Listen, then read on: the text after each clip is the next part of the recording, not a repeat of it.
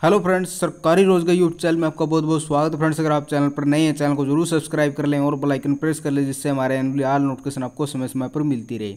तो वीडियो को ज़्यादा शेयर करना। जितने भी शख्स साथी हैं तो रोज़गार विभाग की तरफ़ से नए नए रोज़गार मेले निकाले गए हैं। किस किस डिस्ट्रिक्ट में निकाले जाएँगे किस किस तारीख को निकाले जाएँगे इस वीडियो में आपको पूरी प्रक्रिया, पूरी जानकारी, में इस वीडियो में आपको पूरी जानकारी में बताऊँगा तो वीडियो को ज़्यादा शेयर करते रहना।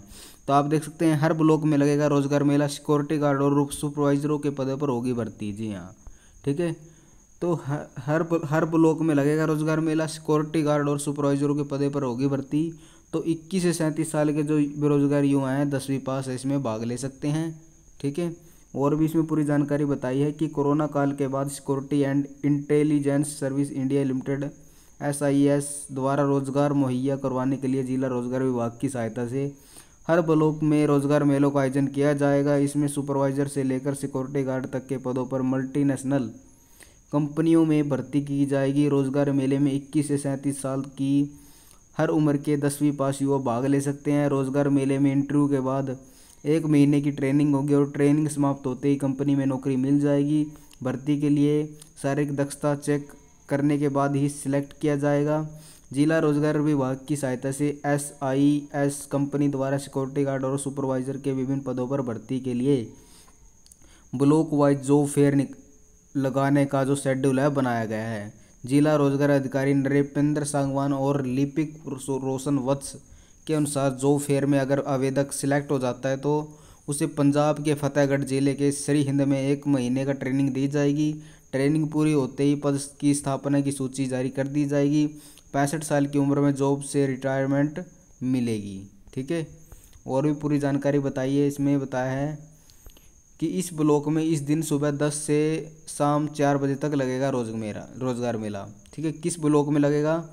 तो सुबह दस बजे से शाम के चार बजे तक है रोज़गार मेला लगेगा। जींद ब्लॉक में अठारह अक्टूबर को लघु सचिवालय की नई बिल्डिंग के कमरा नंबर तीन सौ छः तीन सौ सात, तीन सौ आठ, तीन सौ बारह में। जी हाँ मैं आपको दोबारा से बता रहा हूँ। तो जींद ब्लॉक में अठारह अक्टूबर को लघु सचिवालय की नई बिल्डिंग के कमरा नंबर तीन सौ छः तीन सौ सात, तीन सौ आठ, तीन सौ बारह में रोज़गार मेला लगेगा। ठीक है? और नेक्स्ट है उचाणा ब्लॉक में। जी हाँ उचाणा ब्लॉक में लगेगा उन्नीस अक्टूबर को लघु सचिवालय की कमरा नंबर 2021 में, ठीक है? और स्पिद्दो ब्लॉक में लगेगा। स्पिद्दो ब्लॉक में इक्कीस अक्टूबर को लगेगा रामपुरा रोड नज़दीक एसडीएम ऑफ़िस के, ऑफ़िस में, ठीक है? और अगला है नरवाणा ब्लॉक में। नरवाणा ब्लॉक में बाईस अक्टूबर को मिनी सचिवालय कमरा नंबर बारह से एक सौ बारह से पंद्रह में रोज़गार मेला लगेगा, ठीक है? मैं तो आपको दोबारा से दिखा रहा हूँ। आप देख सकते हैं, जिन ब्लॉक में अठारह को उचाणा ब्लॉक में उन्नीस को स्पीदा ब्लॉक में इक्कीस को, नरवाणा ब्लॉक में बाईस अक्टूबर को है, रोज़गार मेला लगेगा, ठीक है? और भी मैं आपको दिखा देता हूँ तो ज़्यादा से ज़्यादा युवा है, रोज़गार मेले में हिस्सा ले। ब्लॉक वाइज आयोजित होने वाले रोज़गार मेले में ज़्यादा से ज़्यादा युवा भाग ले ताकि उन्हें रोज़गार मिल सके।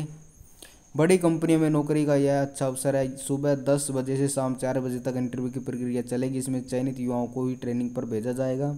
ट्रेनिंग पूरी होते ही काम मिल जाएगा। नृपेंद्र सांगवान जी है जो जो जिला रोज़गार अधिकारी है जो जिन से इन्होंने बड़ी जानकारी दी है, ठीक है? और भर्ती के लिए यह मापदंड किए गए हैं। शारीरिक कद एक सौ अड़सठ सेंटीमीटर, जी हाँ।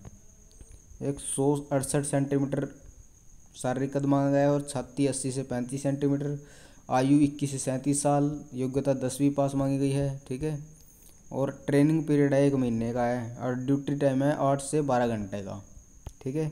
तो पूरी जानकारी मैंने बता दी है किस किस ज़िले में है, जो फिर निकाले जाएँगे और किस किस तारीख को, ठीक है? किस प्रकार इस प्रक्रिया से आपकी जो ट्रेनिंग लगेगी, ठीक है फ्रेंड्स? ये थी पूरी जानकारी। अगर वीडियो चल चैनल को सब्सक्राइब करें, बेल आइकन प्रेस करें, जिससे हमारे एनुअली आल नोटिफिकेशन आपको समय समय पर मिलती रहे।